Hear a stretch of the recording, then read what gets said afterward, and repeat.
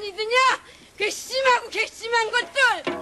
너희들이 누구누구 해서 조상 없는 뿌리가 어디 있고 뿌리 없는 인간이 어디 있단 말이냐? 한국의 맥을 어디 끊으려고 했더냐 이놈들! 네, 그래, 몰라서 그렇고 그러게 이제라도 나